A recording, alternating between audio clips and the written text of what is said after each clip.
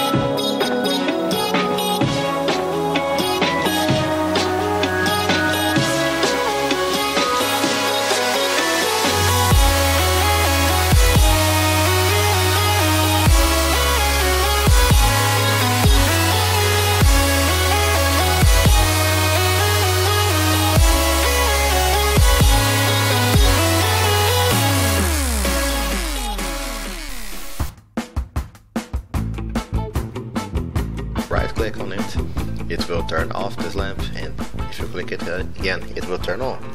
And you can also activate it from the